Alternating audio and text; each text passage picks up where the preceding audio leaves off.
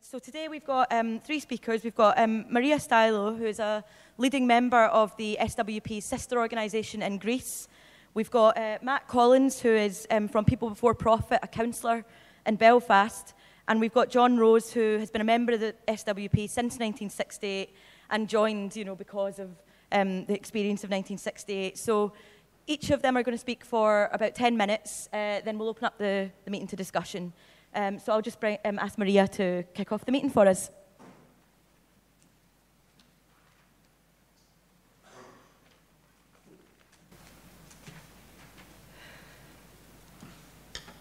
Hello. I speak about 68, but I speak also about today because I think 68 does belong to the past. I think we've got many examples that we can use for today, and I think 68 is in the agenda today, even if uh, we've got a bad picture of what's happening around. So, from this point of view, I come to, to one main thing. 68 really destroyed two big myths that existed up to then. The first big myth is that society cannot change from below anymore. May 68 was 50 years after the Russian Revolution. So it wasn't very far away, really, of what happened to Russia. But it was so after so many big events, the Second World War, uh, a period of rising of capitalism, the two blocks, uh, what's happening to the East and West. Uh, so it was almost uh, a common attitude, or it was a tremendous importance for the ruling classes all around the world to teach us then that things cannot change from below. Forget what you've got as an example 50 years ago. That was one thing, actually. And the second thing is forget about the working class revolution. There is no impossibility. You've got really, in such a circumstance, to accommodate yourself uh, to more realistic solutions, to solutions that will be social, social democratic or sort of uh, popular front governments that they can really lead us somewhere. And the main thing is that May 68 destroyed both of those two myths. I come to the first myth. Society cannot change from below. Society cannot change, full stop. I came as a student at LSE in 19, 1966. And I do remember a few things. I mean, how, how they were trying to taught us everywhere. I remember getting into the old theater of LSE, and uh, uh, I remember Isaac Deutscher talking about Trotsky and what happened to Russia and Stalin, etc. And I remember Tony Cliff attacking him that he doesn't have a theory of what's happening in Russia, in the Eastern Bloc. He doesn't have a theory of uh, what happened, what does it mean, the, the crisis of the Eastern Bloc now. And I remember Deutscher saying, there is no crisis, there is stability in the Eastern Bloc. That's what Deutscher said in 66. And I remember two years afterwards, he couldn't even defend his position. He couldn't even say what happened in Prague, in all around. I remember a second example. Back to Greece, before I came, you had the, the government and the left wing parties, the reformist parties, in 66 uh, saying that we don't have uh, the, the danger of a of a military coup enough in Greece because we are part of the common market. We are part of the European market. And that the more you are linked to the European market, the more you are linked with their liberal democracy, the more you can fight those juntas, those uh, militaries, etc. Year after that, where the, right, the left was so confident, where the government, a sort of socialist uh, centrist government, was so confident that there was one of the worst uh, military coups in the center of Europe, in Greece.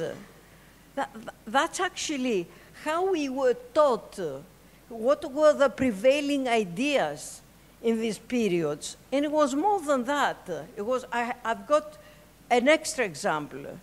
In LSE, you had Ralph Miliband teaching politics and uh, economics and sociology, mainly politics. You know Miliband, you probably know his sons, but anyway, he was the father of the big sons, very good breeding, and he, he, he, he was teaching us why the state is a bad thing. But the only thing that you can move further is accepting this state, and accepting more than this state, accepting Harold Wilson, because Harold Wilson was in the government then, and accepting more than that, accepting Harold Wilson attacking the Siemens strike and crush the Siemens strike because they were a threat. They were a threat from below, and things cannot change from below.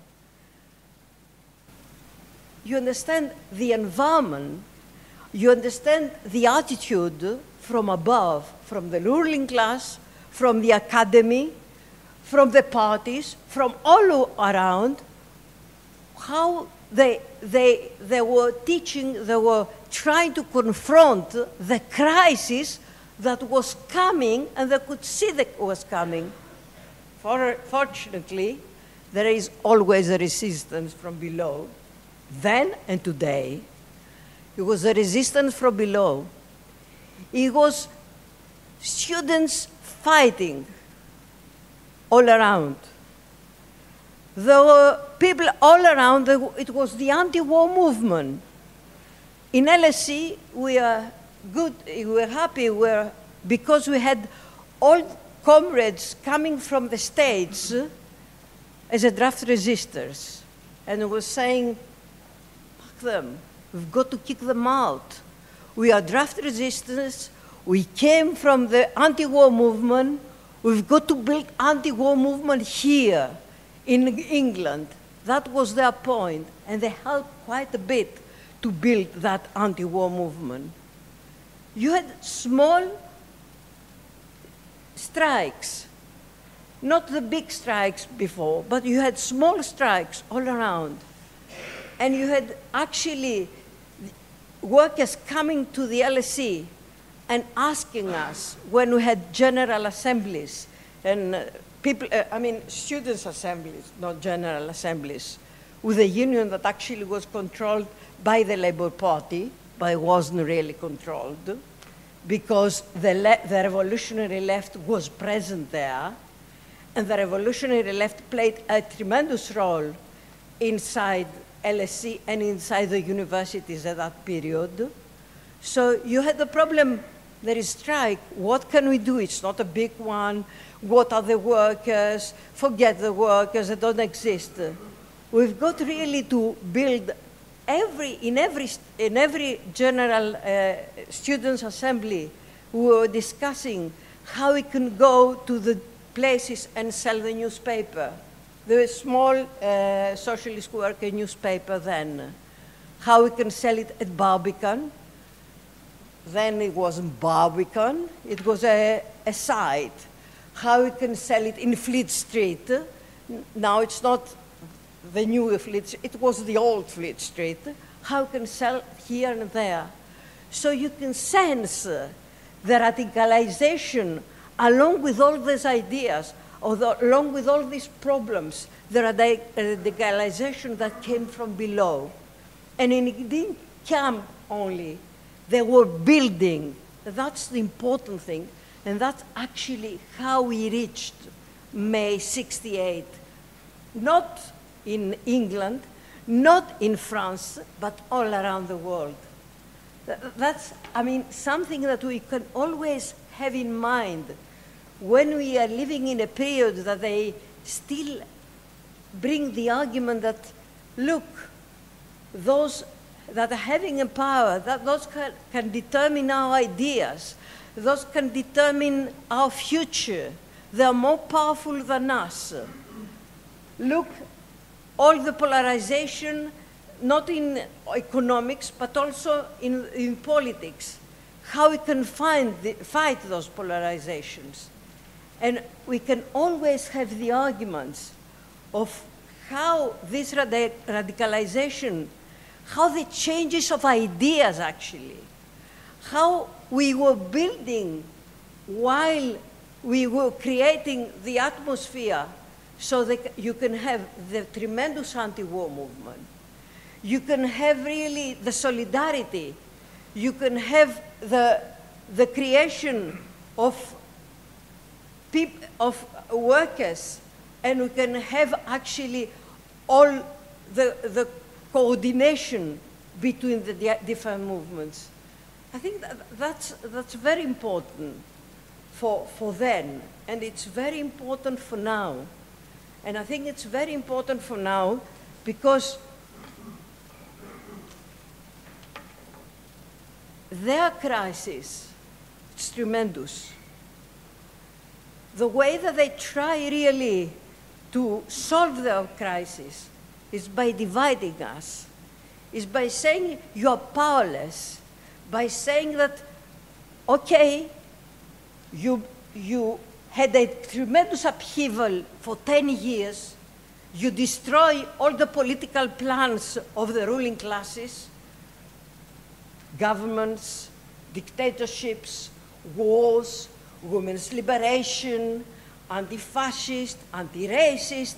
You, you made that. You created big uh, revolutionary organizations, yes, but you lost everything.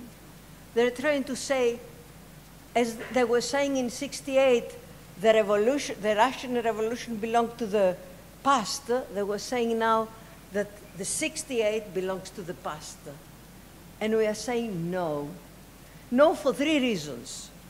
The first reason is that at the present, the experience of people who fought in the last 10 years against the austerity, against racism, against fascism, I've got the example in Greece. They are stronger than they were t- 10 years ago. That's one thing that we've got to, to take in mind. Actually, in Greece, uh, 10, di- 10 years ago, the right had the control of the political situation. The right had the control of the ideas, of everything through this process, through the 10 years fight and struggle, actually we have two new things.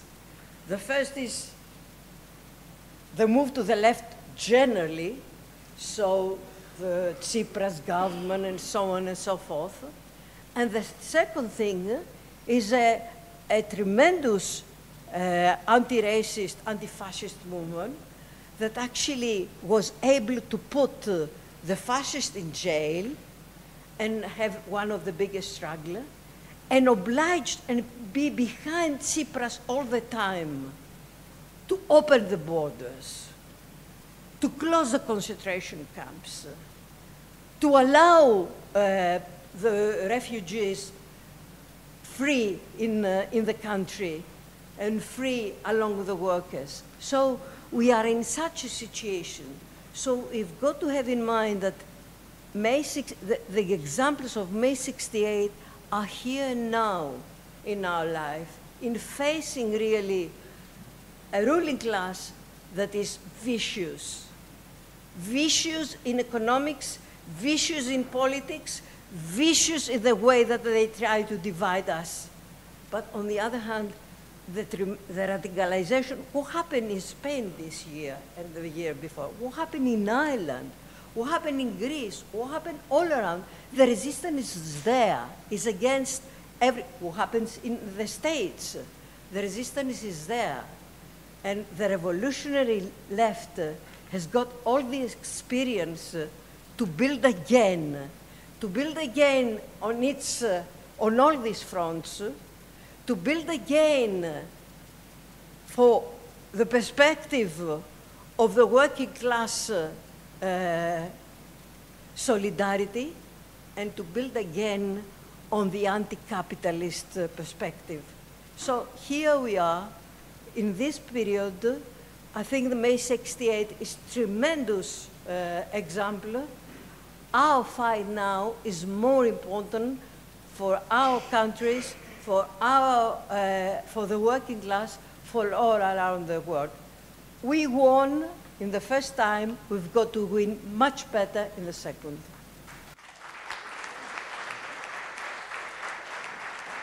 Okay, thanks very much, Maria. We're now going to hear from Matt. Thanks very much, Julie. Um, and first of all, just to thank the organisers for inviting me along here. It's great to be back um, at Marxism 2018. And I suppose I'd, I'd firstly better say that I'm very conscious that in a meeting like this, people are more keen on hearing from uh, the likes of John Rose and, and, and Maria as opposed to myself and those who are, veterans of the struggles of 1968. So I'll try and uh, keep my comments brief. Nor really is it possible for me to give uh, an historical talk on, on, on, the importance of 68 in Ireland and the civil rights movement. So I'll try to stick to the question what's its legacy um, and really what's its, its importance today.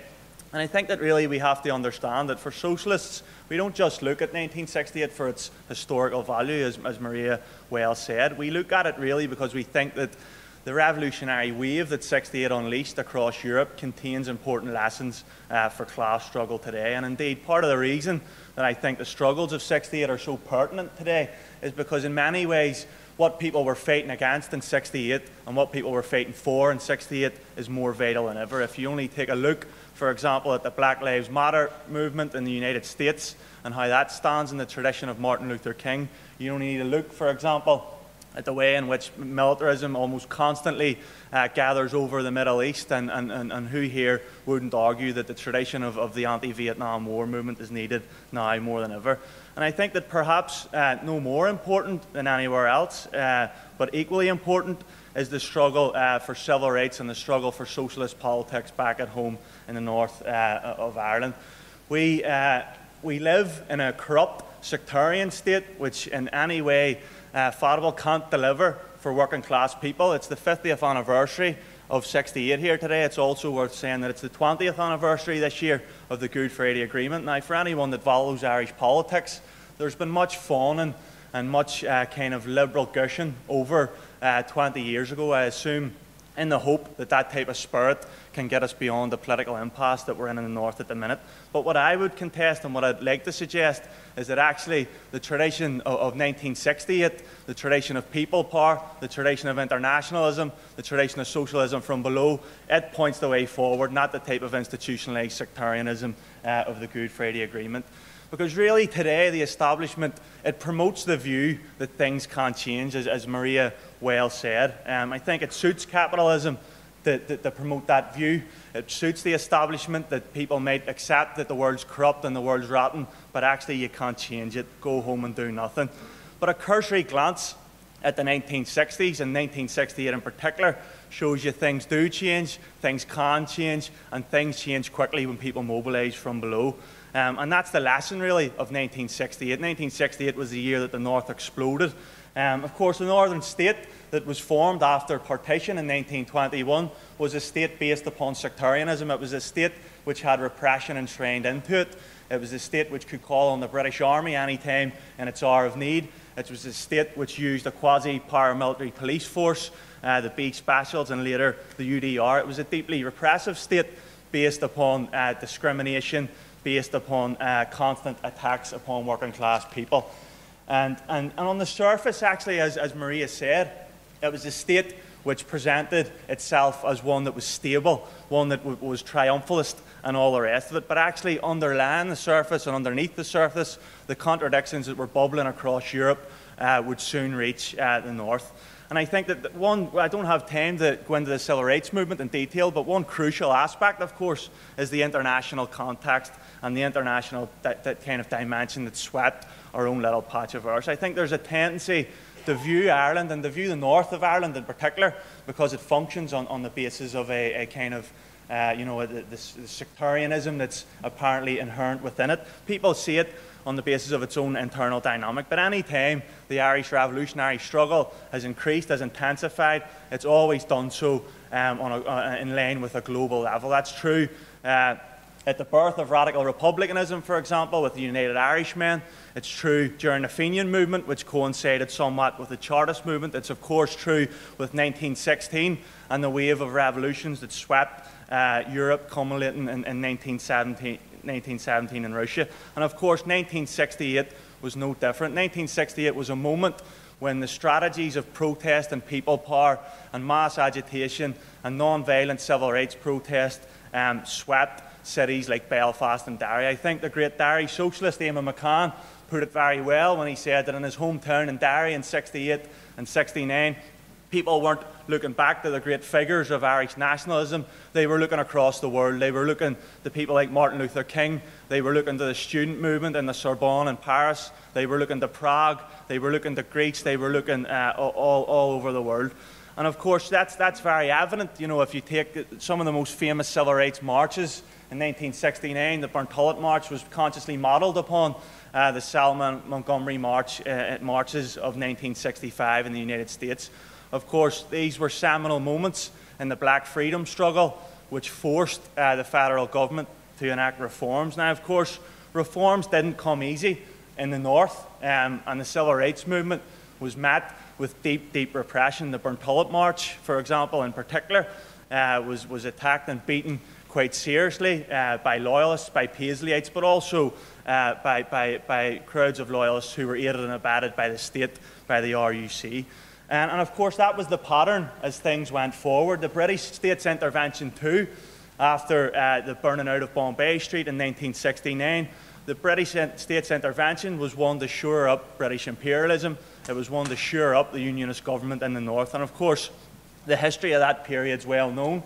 It's a history of internment without trial. It's a history of curfews. It's a history of shoot to kill. It's a history of innocent people uh, murdered in the streets in Ballymurphy and in the Bloody Sunday March in Derry. The power of, of imperialism in the north ensured that violence and repression met the civil rights movement and solidified the sectarian nature of the northern state as the, as the conflict that follows uh, would, of course, testify. But nevertheless, I think 1968 offered a glimpse into a different type of future and a different type of world, world uh, that we can all take great heat in today. I think struggle from below rocked the very foundations of the northern state in 1968. I mean, it's interesting that if you look at the, at the period of history, the 50 years and after the formation of the northern state, yep, uh, the two main traditions in, in Irish society were the, the, parliamentary tradition of the Nationalist Party and the politics of the gun. Both had failed. Both had failed uh, miserably, both the IRA's border campaign in, in, the 50s and 60s, and of course the kind of cul-de-sac of, of parliamentary abstentionism of the Nationalist Party. But in the space of, of, of, a few months, the civil rights movement had delivered more change and more reforms and, and, and managed to put more pressure on the unionist government than years of, of do nothing from establishment politicians or years of, of, of, guerrilla warfare could ever do. And that's really the lesson of 1968. I think if you look at it, it was certainly the case that the state in the north emerged as irreformable in the north but ultimately small gains were won and reforms were won. If you take, for example, the issue of housing, an issue which certainly has not gone away in cities like Belfast and Derry. I'm a councillor in Belfast City Council, and every day our office is inundated with what we could only really describe as horror stories over housing. Housing was a central pillar of the civil rights movement because of the way that uh, the Orange State um, uh, uh kind of practiced the, the, the distribution of housing um, in the 50s and the 1960s. What changed was the mass movement and the mass people power movement that erupted during the civil rights campaign. The development of the housing executive, for example, was a serious gain brought about uh, by the civil rights movement. It wasn't brought about by the gun, nor was it brought about by parliamentary politicians. And I think that if we fast forward on to today, um, I, have to, I, have to, finish up soon. I think, of course, it's the case uh, we're not in 1968 anymore, but nor are we in 1988 in, in Ireland. Um, we don't no, no longer live in an orange state. Um, but we do live in a sectarian state. We, we live in a state which actively denies rights. People in this room may have been a bit shocked when they found out that Theresa May uh, was getting into government with the DUP. When you actually look at some of the politics of the DUP, the DUP is an organisation which still to this day denies people the most fundamental rights the right of, of, of women to access basic abortion and healthcare, the right for the gay community to get married, to marry the person that they love the right for the Irish language community to live their lives through their native tongue. These are all basic rights which uh, should be attributed to people. And much like the old big house unionists of the 1950s and, and, and the 1960s, the DUP seek to promote an image of stability to their own particular project, but we all know that it's deeply unstable. So today we need a new civil rights movement, and that's the lesson of 68. We need a new civil rights movement which can unite working class people, Catholic, Protestant, and other, beyond the sectarian divide and the fight for equality for all. And I think that it's in that sense that this, one of the central themes, of course, of this conference is internationalism. And that's why it's extremely important because, really, if you look at the international scene, the race to the future is really on. There's a massive polarisation across the globe, there's massive instability, there's a clear polarisation between uh, left and right. If you take the issue of Brexit, for example, um, you know, Brexit has really intensified the national question in Ireland. And I think, you know, if you look at it on the one hand, Brexit has the potential to strengthen uh, the partition in Ireland through a hard border and all the rest of it.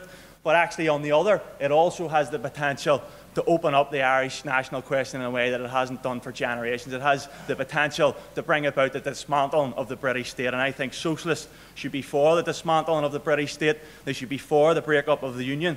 And I'll finish by saying this. Uh, it's great to be here at this conference. I think that members of the British Socialist Workers' Party can, have a, can be very proud of their organisation, be very proud of the tradition of their organisation, particularly when we talk about 1968 people in this room can be very proud, for example, to be part of a group which fully supported the civil rights movement, of activists like Chris Harman, who came over and actively supported the civil rights movement, an organisation which called uh, for troops out of Ireland, an organisation which stood against collusion and all the rest of it, particularly in times uh, which wouldn't have been popular. And I think it's in that sense that the Irish struggle for socialism has always been strengthened by, by yourselves and the British left and by a group like yourselves and the British left. And that's why, really, it's equally important for us to see a heightening of struggle against Theresa May, against this rotten austerity government, against their vision of, of, of, of, uh, of austerity, against their vision of Brexit, actually, and, and instead one that actually puts a left vision uh, for, for, for, leaving the EU and for dismantling the EU. Because actually, as the national question um, uh, intensifies in Ireland, that's where things are at. We say Ireland out of the EU, Britain out of Ireland, and solidarity to all international socialists fighting for the advancement of working class people in Greece and London and across the world. So thanks very much. So I'll bring John to speak now. There was a slogan in 1968 demand the impossible. Now, that's of course absurd, but on the other hand, those three words capture a kind of mood in a moment that was incredibly exciting when the most unlikely things happened that you weren't expecting at all. There was another slogan Students of the World Ignite. It sounds absurd. Students of the World Ignite. It tells us a couple of things, though. It tells us about 68 as being an international student movement, an international revolutionary student movement, and that slogan, Students of the World Ignite, which sounds absurd, nevertheless, at least in France, was literally true when the students were fighting the French police on, on, uh, uh on, literally on the barricades in, in Paris and other cities in May 68, almost by magic, and incidentally, in my ear, I was listening to the members of the International Socialists, and I wasn't a member, talking about the working class and revolution, not really believing it. And then, almost magically, we saw the 10 million workers in France partly triggered, ignited by the students, occupy their factories. We had the wonderful image of President de Gaulle jumping in his helicopter and flying out of Paris because he was so terrified. And there was a moment, it was a revolutionary moment. Now, I don't want to go into the details, I haven't got time, but the French Communist Party, amongst others, was a conservative force which stopped that movement moving forward. And I'll come back to the significance of that in a few moments. But it was, that was the high point of a number of high points, and it was incredibly exciting and by definition, as I've described it, incredibly important. Um, there were also some political adventures. And uh, I had the good fortune to be a student and a comrade of Maria at the London School of Economics. And I have to tell you that she led a political adventure of her own when the Greek colonels uh, seized power in Greece in April 1967. Maria and a number of students and other, um, we'll call them street anarchists, um, got together in a huge wagon, arrived at the Greek embassy. Maria, with a bunch of flowers, knocked on the door, and the Greek ambassador's assistants opened the door, and we all piled in and occupied the embassy. And this was happening, this was happening all over the world, and we naively thought this might somehow put an end to the Greek colonel's coup, and it didn't. Um, amongst other things, I got three days in Brixton prison, and I don't know whether this is a, um, a good or a bad thing. Only three days in prison in 50 years being revolutionary. That's not really terribly impressive. I don't think. It's possibly a reflection on uh, British politics. But anyway, I thought I'd just throw that in because um, I think it's an important point. And another rather more serious political adventure, Ronnie Kasrils, who's speaking tonight, was a sociology student in my sociology class. Least he was pretending to be. He was actually an underground African National Congress operative and was recruiting students to go to South Africa on I'm going to call it an adventure, but it's actually a very serious political uh, intervention and potentially a very dangerous one. I'm going to say no more about it because we're talking about it tonight. But it's part of the 1968 legacy and not, not an unimportant part of it. So, in a way, I'm talking about political experimentation and political adventure. But I think there's a third political, and that's political argument. Political argument ultimately was incredibly important. On the one hand, the workers in Paris demonstrated the capacity of the working class. There still needs to be an argument about the significance of this, especially when it kind of died down. An argument was carried by a very sophisticated group of international socialism cadres. Tony Cliff used to come down regularly, but Chris Harman was a student at the LSE, and I wrote about Chris Harman in the International Socialism Journal, if people read it, the issue before the one that's just come out. Um, and Chris played a, an incredibly important role and, and, and, has sadly not really been, been properly recognized as one of the student leaders of 1968, but he certainly was. And partly just as a result, and of course his book quite correctly is being um, promoted here all this time afterwards, 50 years afterwards, it's still one of the best summaries, the best political insights into 1968. But Chris played a strategically important role in one particular sense. Now, just before I get on to Chris, I want to make one further point about Ronnie Kasrils and Tony Cliff and political argument. They disagreed in 1967 about the Six Day War between Israel and Egypt. I was from a Jewish background. I was more and more interested in revolutionary socialist politics, but when the Six Day War started, I supported Israel, as did most of the other Jewish students at the same time were very sympathetic to what the International Socialist led Student Socialist Society was doing. Ronnie Kasrils and Tony Cliff had a mammoth teach-in, but the teach-in wasn't about do you support Israel, do you support Egypt? Oh no. The teach-in was about whether, whether Nasser was a serious enough revolutionary to defeat Israel. Now, that was a very important argument, but I was seeing something else. I was seeing Tony Cliff of Jewish origins, Ronnie Kasrils of Jewish origins, supporting the Arabs. That was equally mind boggling in its own way. I couldn't believe it.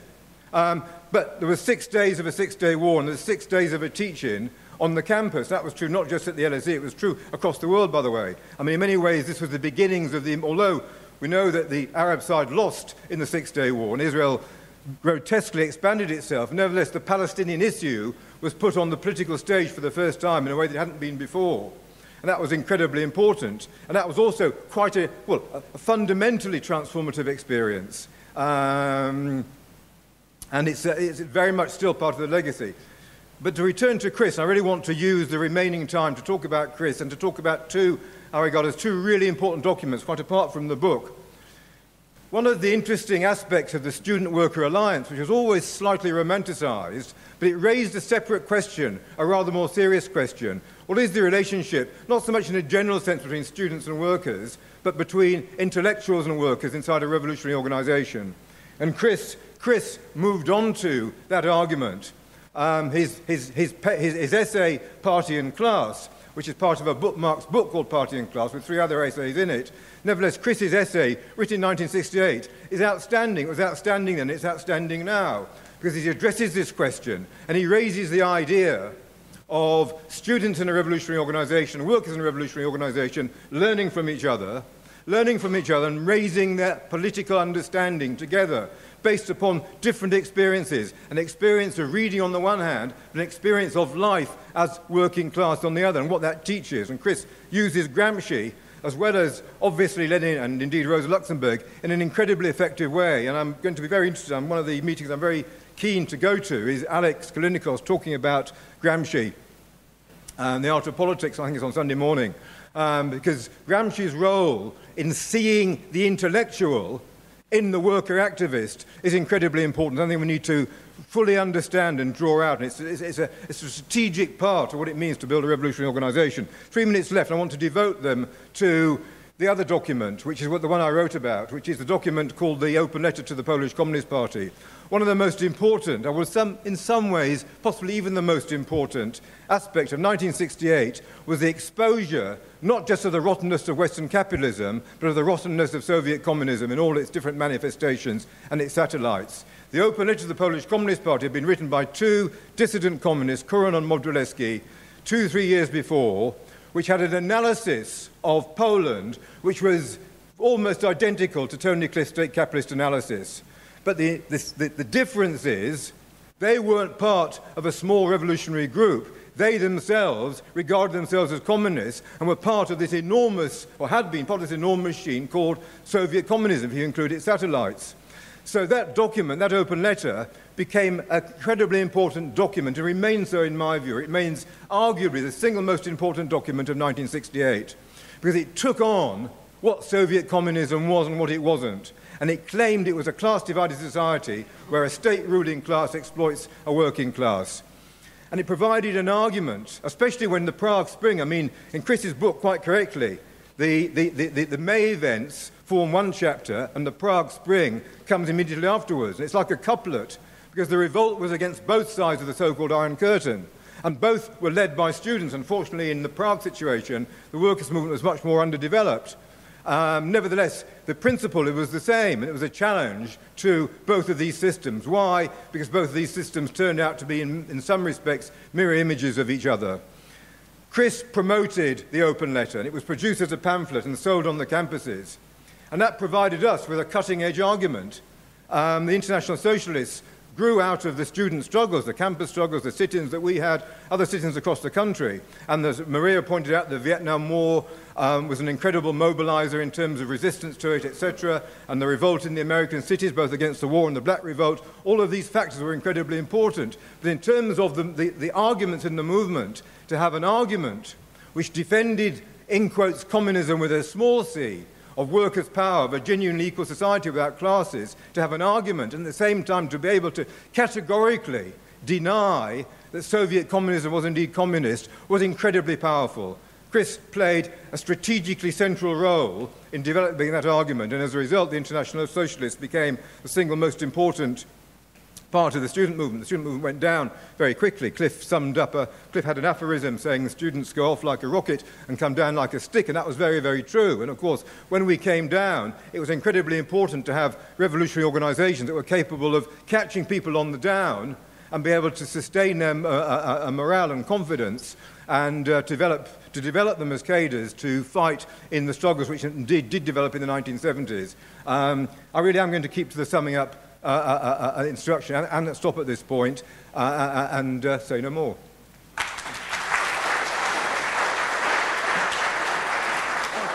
Um, I, I, want to talk about 1968 because I was there and I was part of a poster workshop that existed in Camden Town and we printed lots and lots of posters. Now, we were inspired by what we saw and heard and happened in France.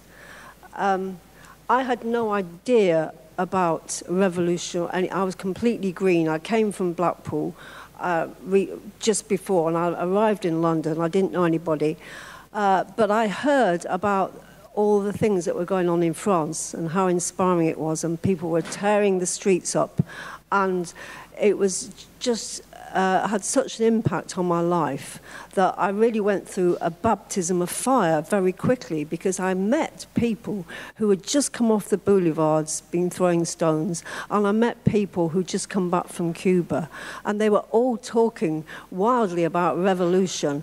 And I began to see that the system that I felt had oppressed me all my life could be changed. I grasped that hope and that sense that it could be changed. And suddenly I met people who had set up a workshop to make posters, and they had a person from France, a student, who came along and helped us set it up. And one of the first posters we, we made was like this badge here.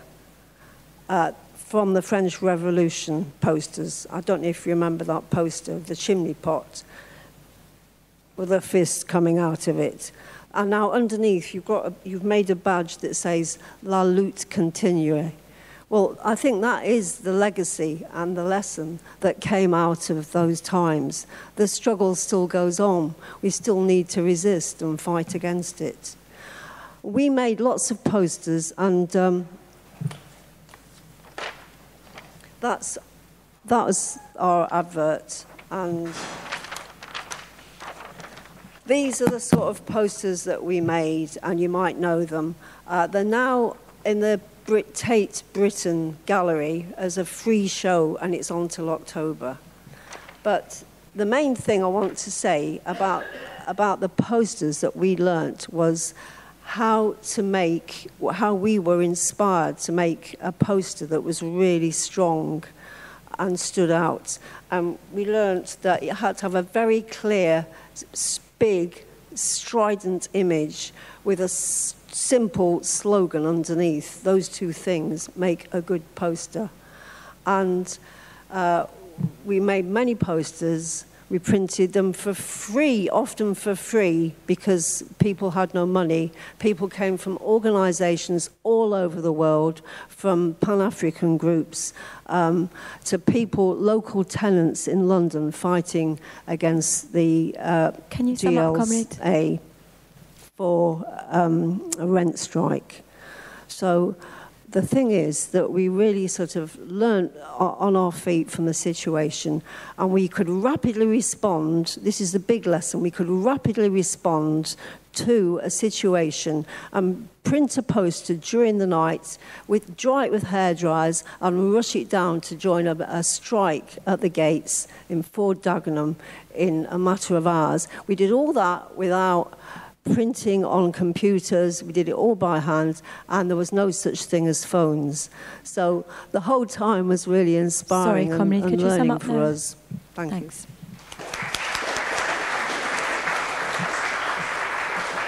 Okay, followed by yourself. Uh, Maria mentioned how in 1968 we were told that the main focus of struggle was among students. Uh, this was, of course, the main argument put forward by Herbert Marcuse, who argued that the working class had been fully integrated into modern capitalism. Uh, John mentioned the famous, uh, inspiring uh, uh, uh, strike by the, the 10 million, the general strike by 10 million French workers. But there were also strikes in this country. Uh, and last month saw the 50th anniversary of the Ford women sewing machinist strike at Dagenham, when 187 women came out against sex discrimination in grading, not for equal pay, but against sex discrimination in grading. Um, the uh, women had been placed in an unskilled B grade, although they did the same level of work as the uh, men placed in the semi skilled C grade. It's a bit technical, but anyway. And the women, moreover, were paid 85% of the male rate. The, uh, this Dagenham strikers were soon joined by 195 Ford women workers at the Halewood plant on Merseyside. The women had no experience of collective struggle and were apparently quite unprepared to take on the mighty Ford Corporation, which uh, uh, at, uh, in 1968 had an annual budget greater than that of India. But the strike, the women's strike, brought the entire uh, Ford uh, production process to a standstill. I was involved as a political activist, as an outside agitator, and it was an agitator's dream. 30,000 workers in a square mile uh, at Dagenham. Uh, and interestingly, the Communist Party, of course, were strong amongst the shop stewards um, not as strong as in, uh, they didn't resort to the kind of tactics that we witnessed uh, in those days in France or Italy, where, you know, uh, revolutionary uh, activists, you know, would, would get, uh, could get, well, could get roughed up. They were all very friendly uh, towards me. I interviewed the main woman shop steward, Rose Boland, for Socialist Worker, an interview that was published in Socialist Worker in September 1968. The women were invited to Barbara Castle for a famous tea party. Um, Barbara Castle, the employment secretary in Harold Wilson's government, and she fobbed them off with various empty promises. Uh, the women were granted 92% of the men's rate as a result of the strike, and it took another 16 years and a further seven week strike, I think, uh, in 1984 before they won full equality with the men.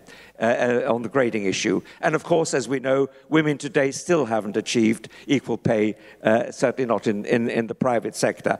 But the, the, struggle of the Ford women in June 1968, and I believe that the, the Ford women were inspired by the French general strike. I can't prove it, but it's certainly uh, uh, uh things certainly Can point in that direction. Comrades? And the women, the women's strike today remains a massive source of inspiration for, for women today still fighting for equality.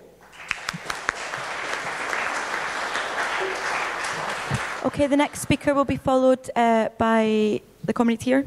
No, sorry, just in front. Oh, yeah, sorry, yourself, yeah. Uh, I was a, a, student at the University of Leicester between 1966 and 1969. And I think if you're going to choose any three years to be a student, 66 to 69 takes a hell of a lot of beating. But um, um, in 1967, we had, after, after the London School of Economics uh, at Leicester, we had the, the second uh, student occupation of the university, and um, a tall, gangly um, young man with uh, an incredible shock of black hair came along to speak to us, and, and that was, in fact, Chris Harman. 1968 um, embodies for me um, William Wordsworth, Wordsworth's words.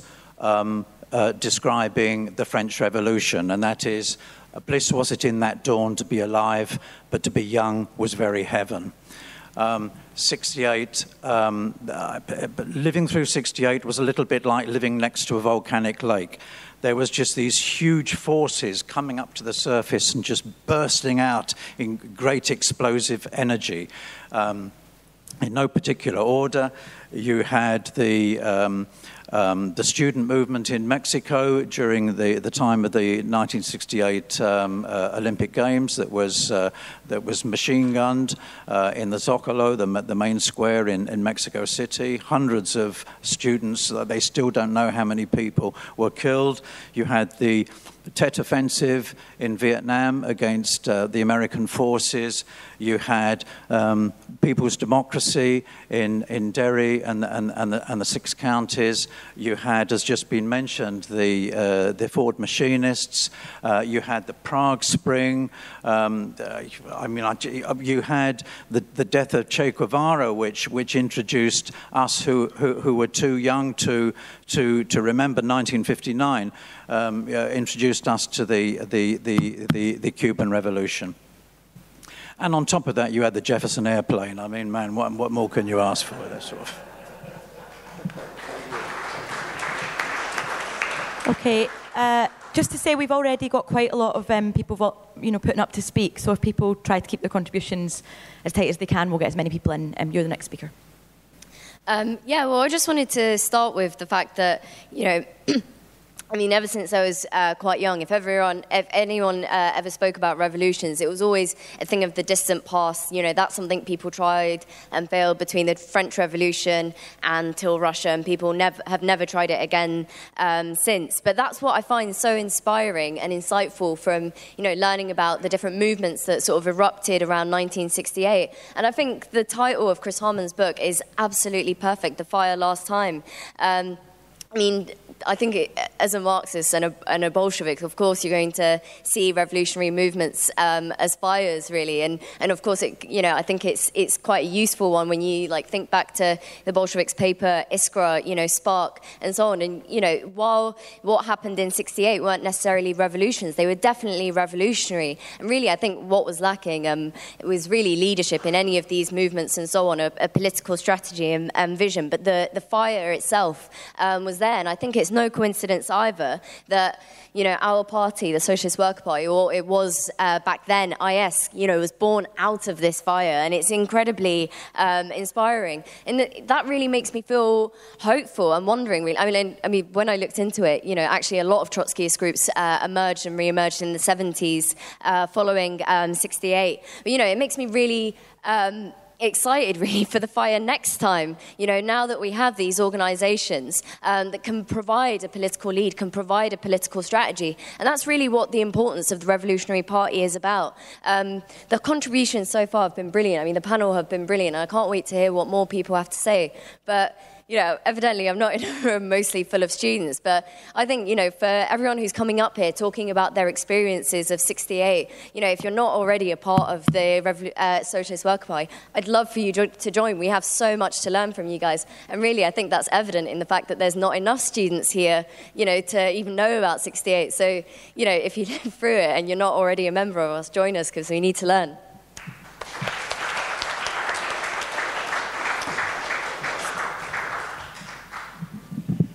Yeah, I came to this country in 1963 at the age of 16 and went straight to work in the factories. At that time, there was uh, so much racism in the factory that uh, there used to be nurses outside the factory saying uh, no blacks, no Irish. And uh, there's so much cruel prejudice, like uh, if you sat next to a white person in the bus, some, often they'll get up and move the seat. And in the factory, there were so many racist jokes and remarks. And uh, my family uh, after they cook the curries, they use so much uh, air freshener so that the neighbors won't get the smell of curries because they hated the smell of curries. And uh, everything seems so boring and gray, like everyone just wear so gray and dark suits. And all the white people, they seem like a monolith, like a brick wall. They all seem the same. Like, you know, there was nothing could penetrate them. In the factory, if you made a complaint, suddenly all the whites will be on the same side and they'll be all, you know, like a brick wall. But uh, in 1967, I started going to uh, full-time education, starting A levels. Even earlier uh, at that time, there was still a lot of uh, uh, racism amongst students as well. But in 68, suddenly everything seemed to have changed. And uh, this sort of penetrated to the uh, Northern University, the local tech school colleges as well. Even my own college, suddenly the students were become much more friendlier, and you know we started having uh, curry parties, in, and we in put LSD in the curry party, uh, in the curries. and suddenly, you know, it seemed like uh, there was tremendous change, and racism went disappear, and there was so much uh, uh, fraternity and unity, and uh, this was the result of the what everyone sort of knew that the, what the students had started at university level, and it was penetrating down to the local level as well. And it was a tremendous change, which was a fantastic to see at the time.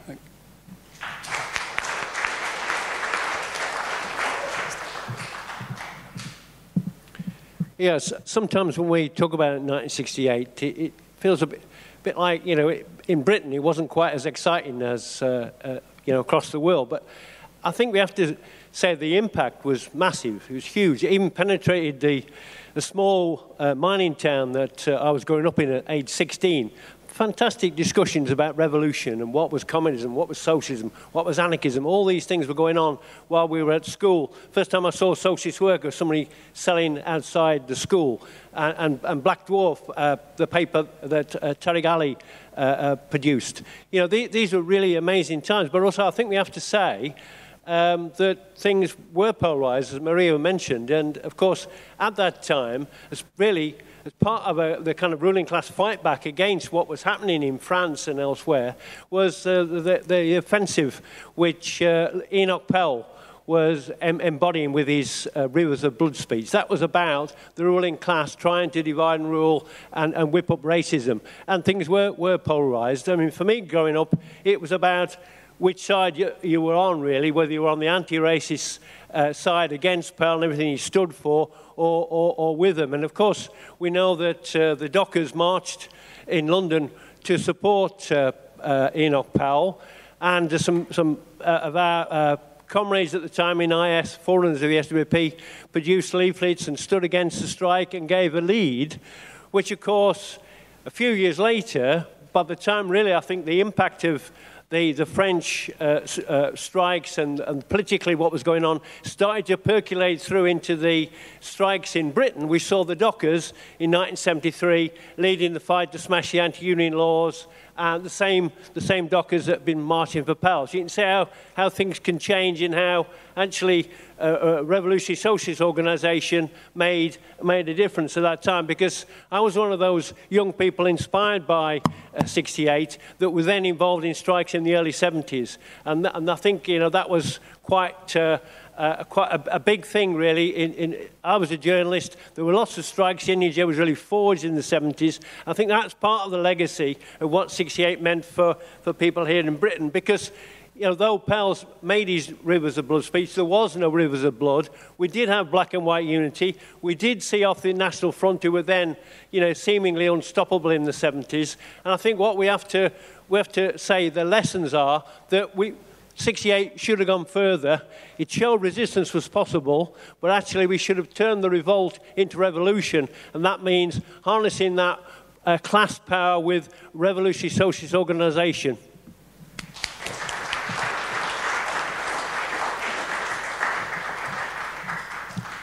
As I was listening to um, Matt, uh, Maria, and John, it struck me two things that are really, really important for us today is that, first of all, 1968 came as a relative surprise, certainly to many people like the sociologists and so on, who said things about the working class that you hear a bit today, actually, that the working class is not striking enough, that there aren't the strike figures, and so on. Suddenly, that was altered completely. And the other thing that uh, is relevant for us today is that actually many revolutionary organizations were quite small, and we see that it's uneven across the world. You know, in America, for example, there are small organizations, well, actually, one of them is growing quite strongly. But what 1968 managed to do with the right politics is to turn those revolutionary organizations into larger, much larger organizations. And both those points are very relevant for us today. The other thing that I think is important is how really, for all of us who came from that tradition, how politics and economics are absolutely linked. You know, it was the students' bravery and courage in the Latin Quarter that inspired the working class to then occupy the factories in Nantes and so on. And there's not a Chinese wall between politics and economics. And certainly for, you know, when it was in Derry that they looked to America and came out, that kind of connection is really important. And we see two things like that today.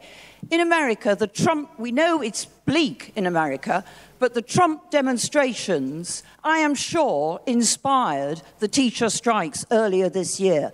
The fact that they had come out on the streets and that they had made that, in, in other words, in a political sense, also inspired white collar workers in America to come out.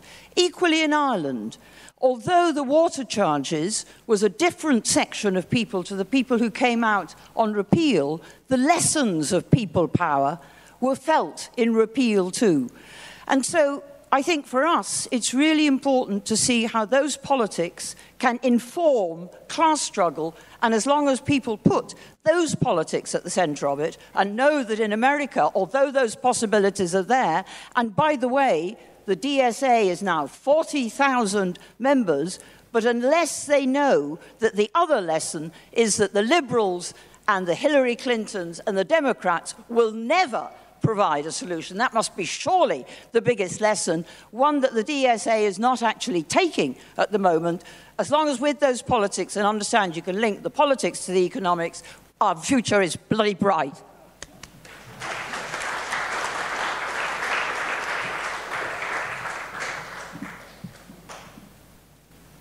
Um, Matt Collins was generous enough to make some very nice comments about the British SWP. I just want to put on record to him and to all the comrades who come from Ireland how pleased we are to have them here, that we feel very much part of the same struggle with them.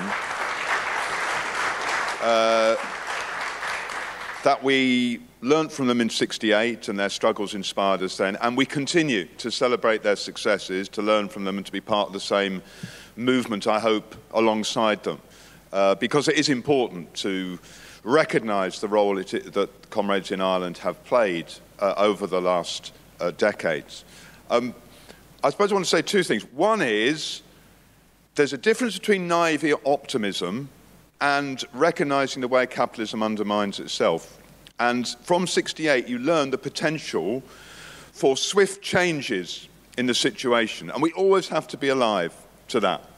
If you think about France, it was the necessity of the modernising of French capital which created an immense expansion of higher education, uh, creating huge grievances among students, which was very, very important.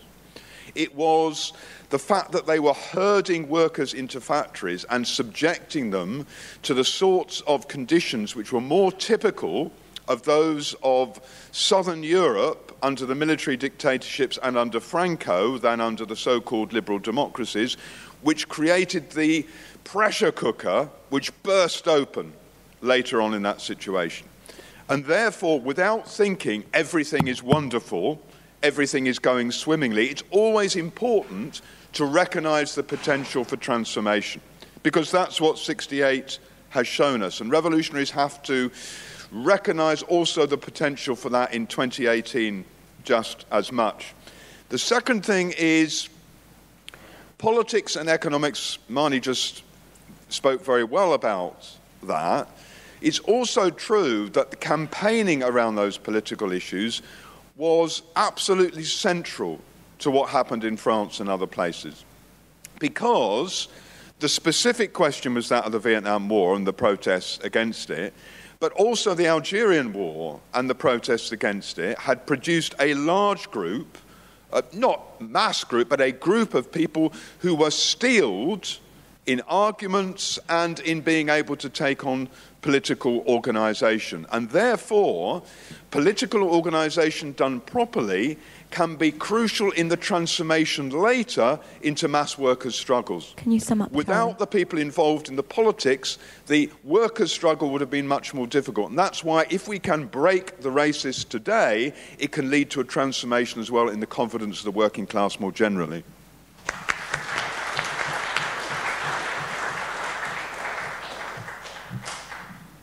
Hi, so um, I don't have a story about 1968, but I do have a story about 2018.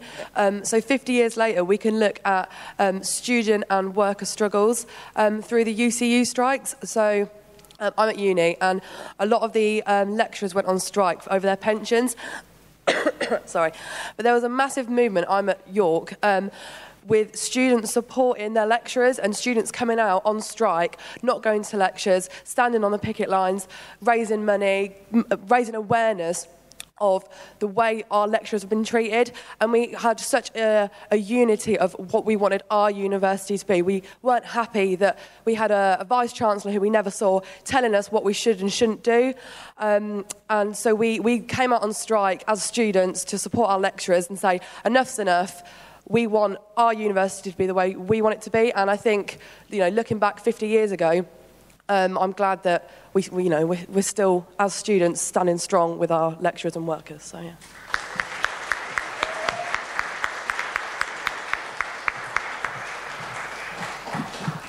Hi, um, Colin Bryce from uh, Lewisham, uh, SWP.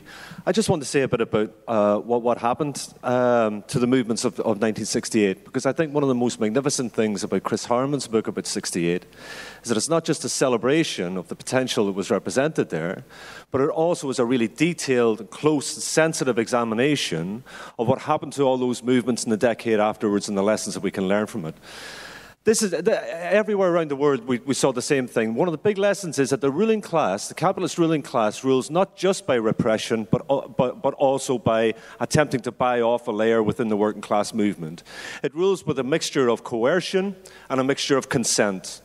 In the north of Ireland, for example, Bloody Sunday in Derry, where the British Army massacred people on the streets of Derry in an, an attempt to terrorise the mass movement off the streets, went hand in hand with the strategy by the British ruling class to find moderates within the civil rights mo- movement, represented by the SDLP, who they could work with to put together a power sharing, uh, power sharing uh, executive. All across Europe, and in the United States, what happened in the decade after 1968 was a conscious strategy of trying to absorb as much of the movement as possible into the existing structures of society. In America, it was about uh, bringing some of the radicals into the Democratic uh, Party. In Britain, it was about drawing the trade union bureaucracy in, into the social contract and so on.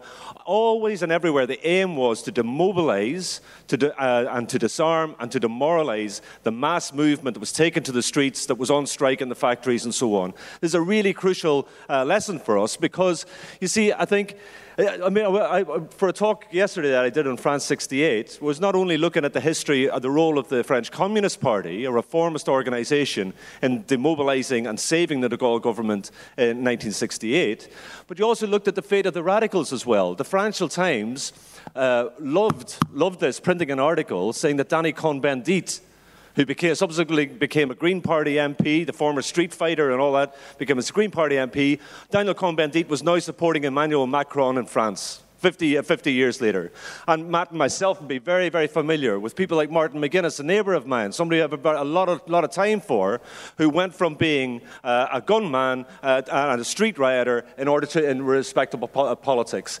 That's why it's important, I think, for us to argue that, and it's great to be in this room with people who have actually that living continuity, to argue for a strategy that relies on working class struggle as the key uh, to, to, to, to, social change, about, uh, about workers' role in production, and so on, and that rejects those two, uh, th- those two alternative strategies, that uh, neither of which have faith in the working class. The reformist strategy that will always take that movement halfway and direct it into the uh, conventional channels of politics, or the people who attempt to take shortcuts through street fighting, uh, guerrilla struggle, or, or, or, or any, other, any other sort of method. And we need a revolutionary party to do that. So, Maria, if you'd like to start.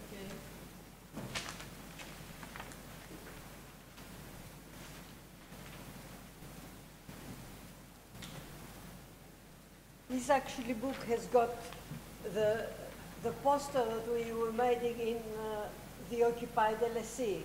That was a poster actually that they were trying actually to put it all around the streets. Oh, sorry. that was a poster that we were making in uh, occupied LSE, the guy, both the Guy uh, and we were putting them all around. We, we didn't have money, but it was also money because we were occupied. We were making our posters like the French comrades were making the posters in, uh, in Paris. So we made it, and we were putting the posters all around in London. So few of us were arrested because the police could not really tolerate that people were coming outside with this poster I think it was sometime around September or October of 1967. Anyway, uh, coming back, a uh, few comments and some, uh, some things. Uh, the, the occupation uh, of the British, of the Greek embassy didn't come just out of the blue.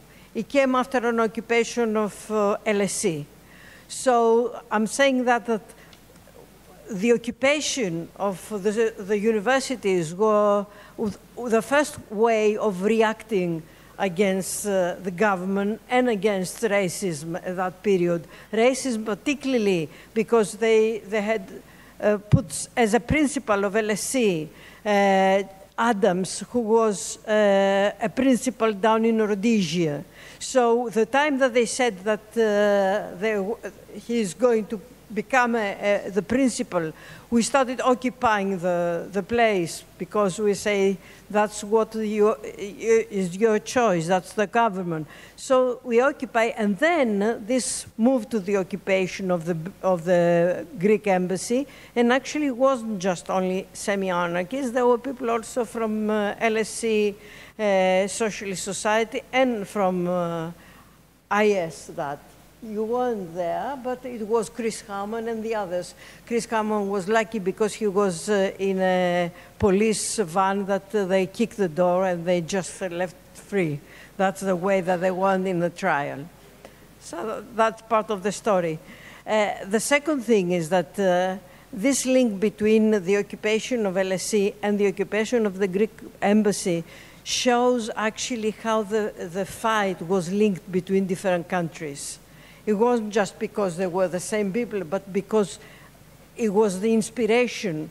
The moment that you had the example, even before 68, you understand that in, after 68, the example it wasn't, and nothing was isolated in a period that there, every, every, the, the movement understood its power and uh, they couldn't stop anything. So from this point of view, you had all this generalization, not only in, uh, in, in resistance, but generalization informing uh, revolutionary governments and I, uh, revolutionary parties. And I want to come to this last one because that's the question.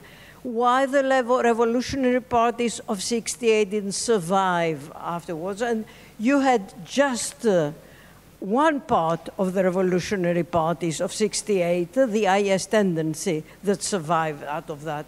And I think that that's a very important question for, the, for three reasons. The first reason is that uh, how you, the assessment of a period, it's very important. The period is not going always up.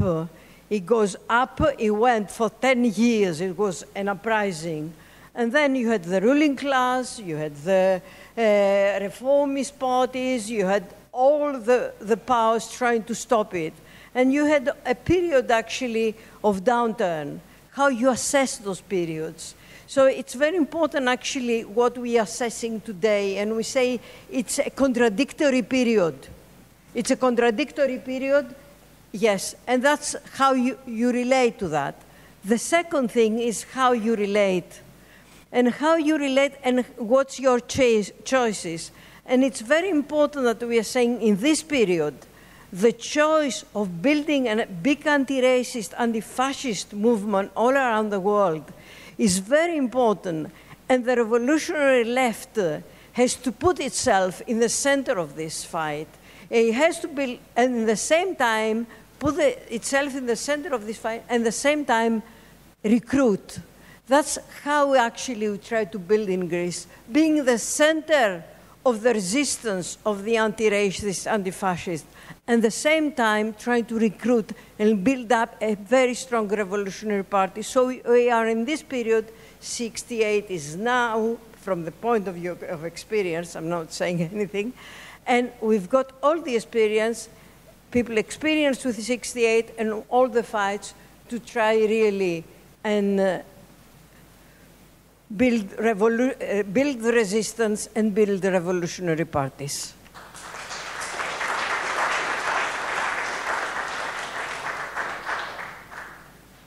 Yeah, um, I'll just make a, a, a couple of points. Um, I mean, I think that, that, that sorry, um, I think two, two of the themes that have been touched on, um, particularly in, in, you know in regards to the socialist tradition in 19th speak into it. Is that any better? Um, two of the themes that have been touched on, um, particularly in regards to the socialist tradition in, in, in 1968, is, is, understanding why 68 emerged, but then also understanding actually, I suppose, why things uh, went wrong or what, what, strategically what could have, uh, uh, what, what, different outcomes could have happened in, in the different places across the world. And I would echo the point made uh, certainly about reading Chris Harman's book. It's the best book on uh, 68 in a few pages. He manages to say more about Ireland than what uh, many, many others had attempted to do. Um, but uh, I say, I think the, change in material conditions are fundamental because actually there is a kind of a media caricature of 68 that it's all about kind of students who, who got loose for a couple of months and then um, kind of retreated back into accepting capitalism. But as Harman well argues, the, the the explosions were much more profound and much deeper and were products of the contradictions within the system that not only exploded in 68 but continued in the aftermath of, of 1968. And that's very evident in Ireland. Someone mentioned France and the kind of uh, the changing needs of, of, of, uh, of, French capitalism. That's also the case in Ireland. It's a very similar process. The Orange State was built upon one party rule, it was built upon a large shipping industry, it was built upon uh, the large textile industry. This had gone into profound decline. Um, um, um, in the years after partition, and it forced uh, the Unionist state to open itself up to foreign capital. And this, these change in material conditions meant that there was an increase in students, an increase in Catholics in university, an increase in, in women in university, and this all kind of uh, added toward um, the kind of melting pot that exploded in 1968. But the other fundamental um, aspect is actually what is to be done and what could have been done. And I think that in here, when we have to, we have to talk about the strength of revolutionary forces, and again, in Ireland, in some ways, it's, it's, it's a lot more acute because the left was so small going into 1968. Again, I think I'm, I'm referencing Eamonn McCann again. I think it was Eamonn McCann who said that, you know, if we had had an organisation, even in Derry and Belfast, of 100 people at this time who understood the need to challenge the Unionist state and the fight on the streets, but also could base it on class politics and, and Protestant and Catholic workers' unity. In some ways, that's, that's, that's the, the tragedy of 68 and 69 in the North and in Ireland, that you know, the lack of, of socialist organisation. They kind of carry through on the politics and the ideas of what a small uh, group of activists were doing. I think in, in, Tony Cliff put it well, yep, where he said that, that they'd unleashed an avalanche that they found it difficult to control. Because actually, what we see in 68 is the re emergence of the Connollyite tradition in Ireland, the re-emergence of, of, of, of, the Marxist tradition in Ireland. I can't, don't have any time to go into that, but that's the real uh, uh, Marxist socialist tradition, um, the real anti-imperialist tradition. And actually, if you take that method and apply it to today, again, Ireland's changing greatly. If you look at the repeal vote, you can't understand the transformation that's happening in Ireland at the moment without understanding the change in material conditions, the entry of women into the workforce, the entry of women into, into, into the student population, etc., etc. You can't understand it without understanding the street movement that's developed, without understanding the entry of radical left socialists into the Irish Parliament to raise these issues. So that's, that's uh, in terms of that, the legacy of 68, we're building upon that today. Um, and as I say, as part, not, not on nationalist terms, but as part of, of a wider um, struggle for international socialism on this island, in Ireland, and across the world. So I'll leave it there.